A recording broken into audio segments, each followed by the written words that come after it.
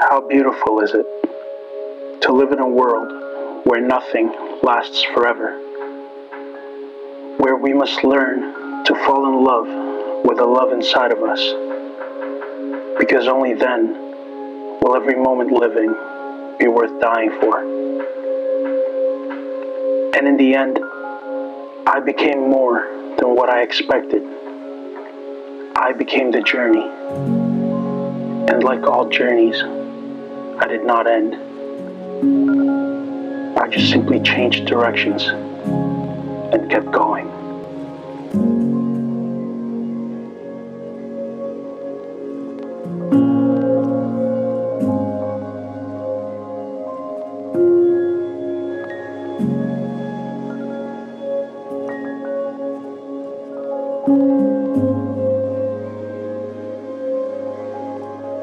Música